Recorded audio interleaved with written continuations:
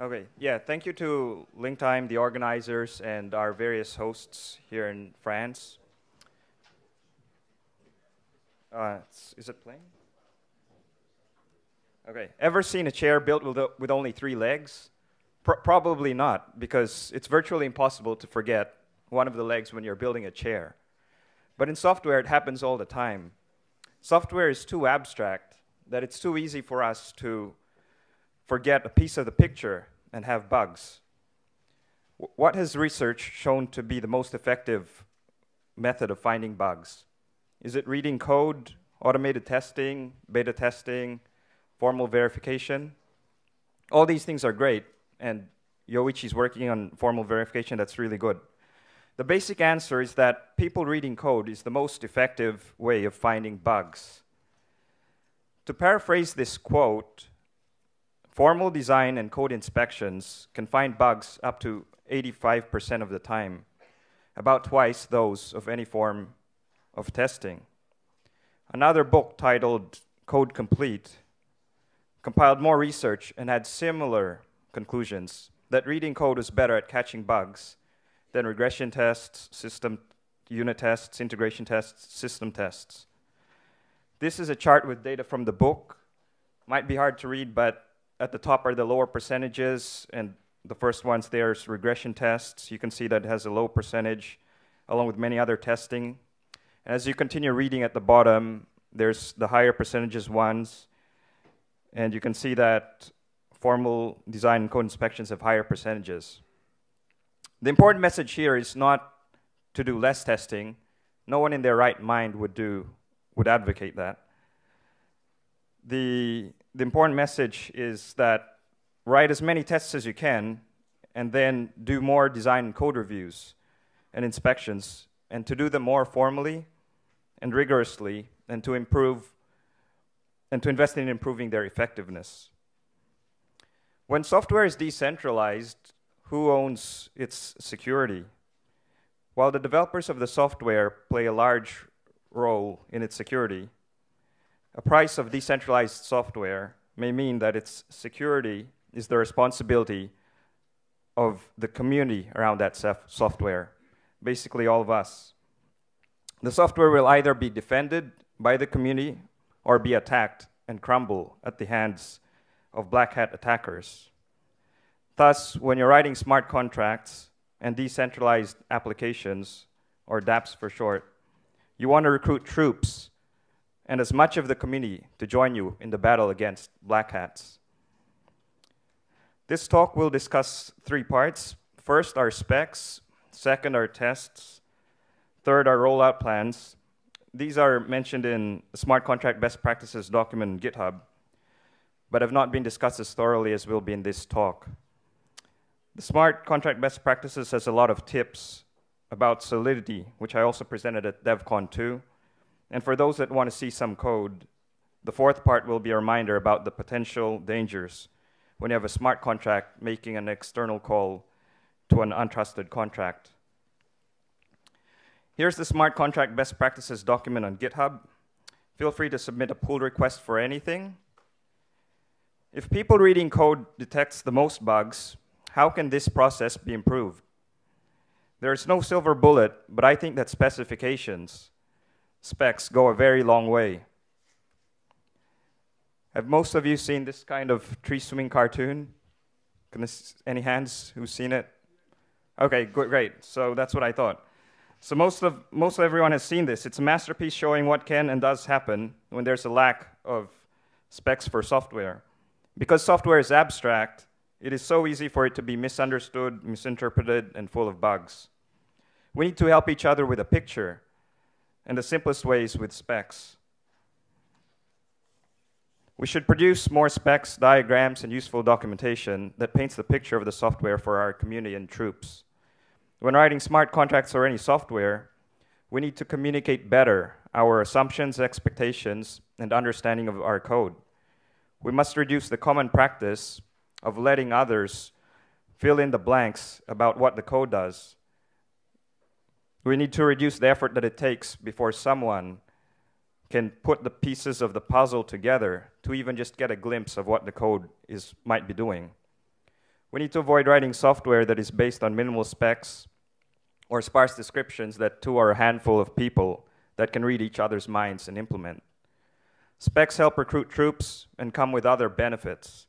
For example, bugs in specs are the cheapest to fix. Bugs in a deployed system are much more expensive to fix. Also, tools like formal verification will only help as much as the specs you provide to them. Do you know anyone who has ever built a house from a description that needs to have a front door, back door, and windows on all sides? No, you have specs and blueprints showing very precisely how large the doors are and windows, where are they located, which way they open, and so forth. We need to try to be more thorough with specs and then work hard to make it clear what they mean, reduce ambiguities and misunderstandings, and reduce cognitive load for our troops. Most of us, if not all of us, know all these things already, but I'd like to remind the community how critically valuable specs are, and ideally, specs that can be simplified, explained with examples, and paint a picture so that more people can understand them easier. Specs also take territory away from black hats. Black hats don't often lurk in the daylight of the obvious, but in the darkness of subtleties and quirks, like the self destruct that Martin mentioned where much fewer white hats, good guys, and community members roam.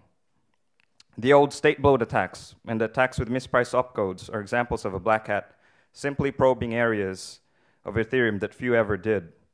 Very few of the community knew these dark areas, and even fewer inspected them.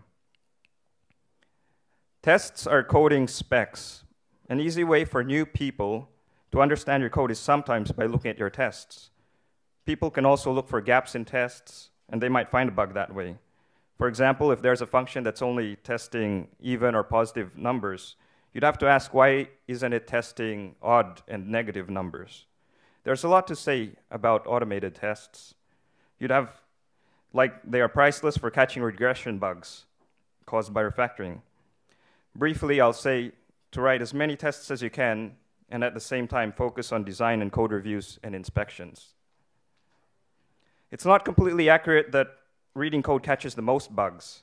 You may have caught in that earlier chart that the Code Complete book lists a method more effective than formal design and code inspections, and that is high volume beta tests with more than 1,000 users. This leads to the importance of having rollout plans and deployment plans for your software and smart contracts. When will you allow users to interact with your software? How much time will you allow before deploying to production? Rollout plans should include when specs will be announced to the public, allocate time for their feedback, time for fixing specs, updating and improving them. Rollout plans should cover the deployment phases like test nets, alpha tests, and beta tests. It's ideal to have high volume te beta tests with more than 1,000 users, but might only be feasible in production. A production system needs baking time in production. The strongest swords are forged by repeatedly putting them in fire and hammering them. It takes time. Specs help improve our troops, help in inform our troops where the battlefield is. They help shine the light on dark areas and weaknesses where reinforcements may be desired. Rollout and deployment plans give time for our troops to act, probe, identify weaknesses, and set up defenses. Both specs and rollout plans make it easier for more troops to join the battle. Now it's time for a solidity tip and some code. Contracts calling each other is powerful and can lead to emergent use cases, but care must be taken for external calls that a contract makes. The recommendation is to avoid calls to untrusted contracts as much as you can. Untrusted means any contract that you have not written, this is because if you call someone else's contract, they or one of their dependencies could accidentally call a malicious contract. In the chain of contract calls, all it takes is for one contract to make a mistake. Thus, assume that untrusted contracts are malicious. Avoid calling do something or address.call on an untrusted contract. The key point here is that after any untrusted call, Assume that the state of your contract has been manipulated. Here's a diagram to help. There's a few things here, but let's start with the left side at the foo function. It decrements x, and then it calls an untrusted contract, which is the red arrow. The fallback function of the untrusted contract executes, and it can call foo, an example of recursive reentrancy. It's important to re realize that reentrancy can use any of the contract's public functions, meaning an attacker can reenter using the function g or the function bar. This is why after the untrusted call, the contract cannot assume anything at all about the values of x or y. Before closing, a reminder about unknown unknowns and other security tips. An example of something that could attack us but is unknown is a compiler bug.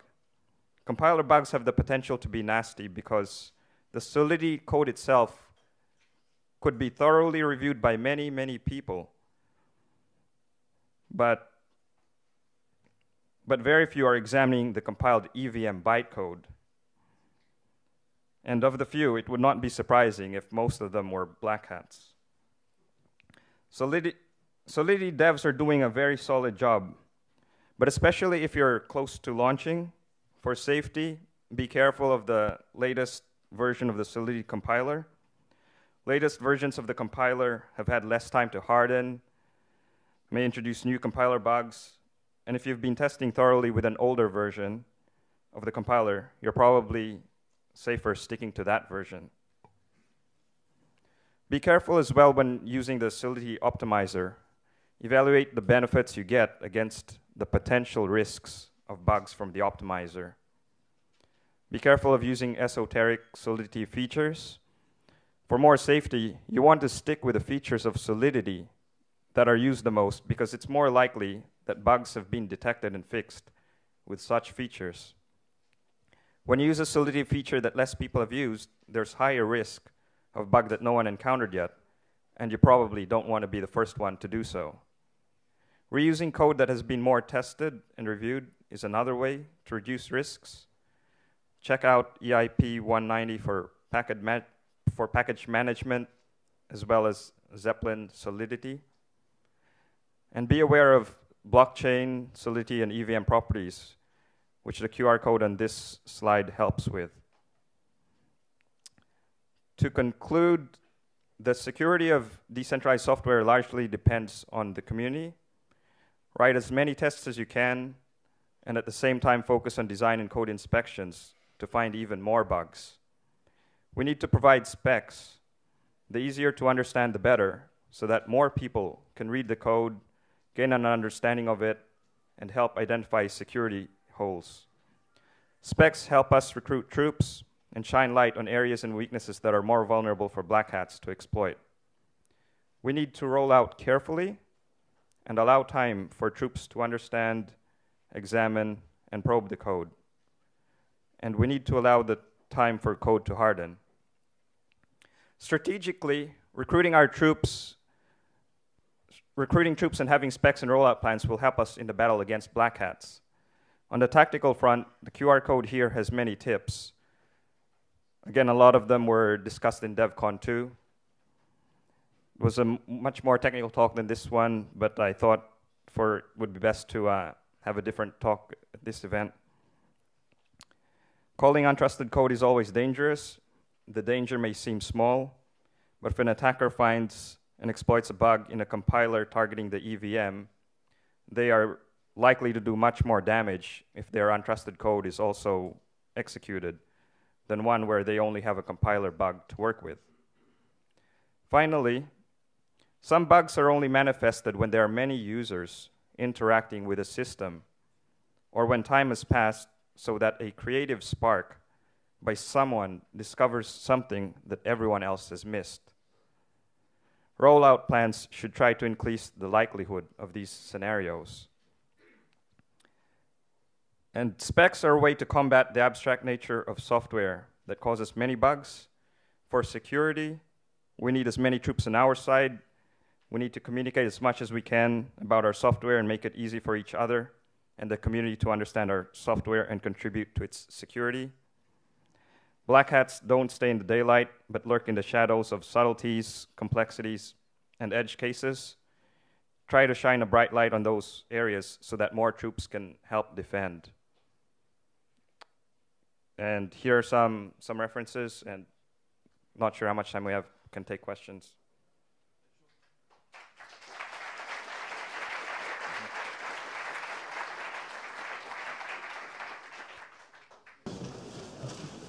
Question, anyone?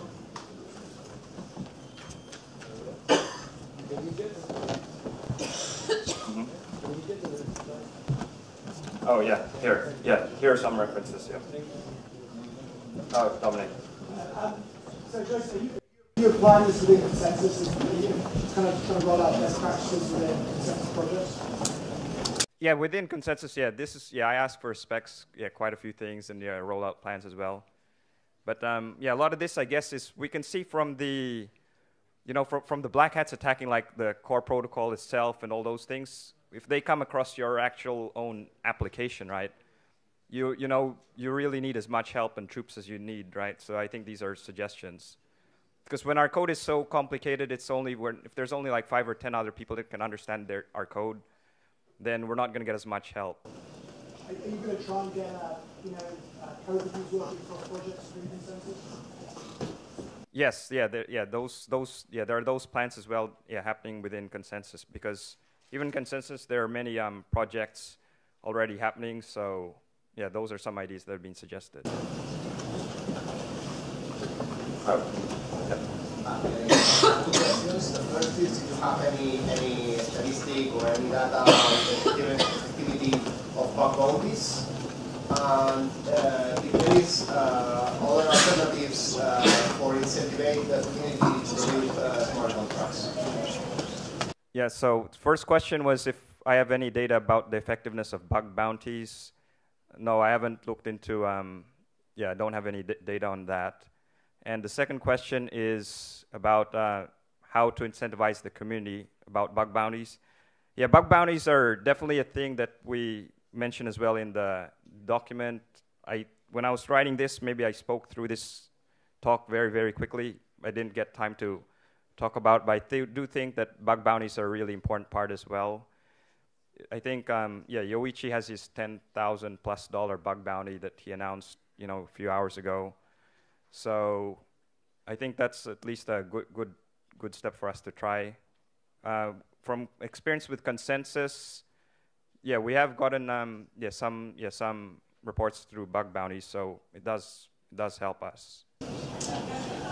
What, what are the other way? Uh, sorry. Question there? Uh, yeah, so, so basically, if I'm writing a smart contract and I wanted to get a review, what are the, is there only bug bounties or is there anything else I can do? Um, yeah, I guess yeah. If, so the question is, are there uh, are there other methods apart from bug bounties to try to get um, people to review to review your code? So there. So some of the other ways that I, I know of is that certain other projects like Gnosis, they have their own Slack as well. They get a bunch of feedback that way, so they're they're already building their own own community of um, supporters, and those supporters are you know give, giving feedback on different things. So it's yeah, I guess with, within the larger Ethereum community, you also have to try to build your own smaller community. But again, I think part of it is, is if you're able to really write things, blog posts explaining things. Um, the Gnosis auction is one of the more complicated um, auction, you know, novel. It's also quite novel that may be harder for people to understand, but I think they've done a pretty good job of writing blog posts about that. So I think the more communication that you can put out there that more people can understand and take time with it, because it does take time for people to understand as well, it, it only helps the project. As a normal dApp developer, what can you do against uh, compiler bugs uh, apart from being conservative and sticking to an old version? And in general, is there a way we can help people writing compilers finding bugs? Does it make sense to compare different versions, so a, a, compiler contract against different versions of a compiler and compare the behavior. Yeah, so what can we do as, as non-compiler writers? Yeah, the question is, yeah, as, as dApp developers, what can we do to help avoid compiler bugs or help help find them? Uh, yeah, my I touched a little bit on the first one, you know, how you can help avoid um, compiler bugs. And some of the techniques there are, yeah, basically, if you keep, if your contract just does things that, you know, most other contracts are doing, you're less likely to, to hit a compiler bug because otherwise pe people would have hit, hit them already. But if you start doing um, too many things that, you know, less and less contracts are doing, um, let's say like, yeah, raw calls in Solidity you know, they've been out there for a while now, but you know, they're not too too highly recommended raw calls. So, you know, for for some reason there might be some so, some some issue with something like that. Um, so yeah, the I think the best way is if you're doing things complicated, that's when you really have to pay more more attention if there might be issues against compiler bugs. I'm not sure what how we can um, contribute feedback to uh, Christian and the Solidity team on such things, but I know that um, yeah, we can see from Yoichi's talk as well that you know they're looking more at the compiler level bytecode to really help sort sort those things out.